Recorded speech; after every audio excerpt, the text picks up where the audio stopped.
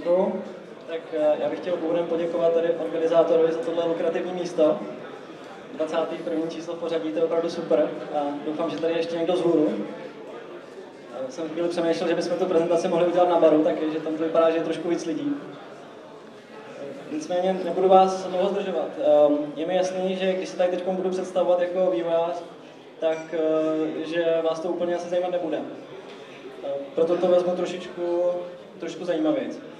Děláme sice klasický nudný zakázkový vývoj pro firmy, taková, takový to kliše, ale co je na nás zajímavého, že se snažíme vždycky přemýšlet o těch aplikací, aby jsme tam dali do toho nějakou přidanou hodnotu, aby ta aplikace byla použitelná pro ty lidi. A, a aby opravdu, když jste, když jste třeba v tom terénu, nebo když musíte používat ten mobil, tak aby, abyste tu apku využili, aby to nebylo čistě nějaký klon webové aplikace nebo něco takového. A taky jsme si všimli, že poměrně často dochází k adaptaci trendů ze zahraničí v České republice. Akorát, že to je takovou oklikou, že nejdřív to, nejdřív to začne v USA, tam to vymyslí, potom, řekněme, o půl roku později se to dostává do západní Evropy a o rok, o rok a půl později se to dostává do České republiky. Takže já bych chtěl apelovat trošičku na, na české firmy, aby otevřely víc oči a aby nějakým způsobem tyhle ty trendy, které se v zahraničí objevují, začaly adaptovat trošičku dřív. No a jedním z příkladů, který vlastně podlíhá tomuhle tomu schématu, který říkám, tak je bankovní segment.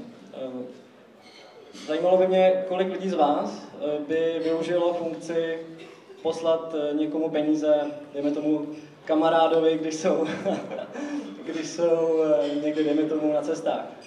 Je tady někdo, komu by se hodila taková funkce? Super.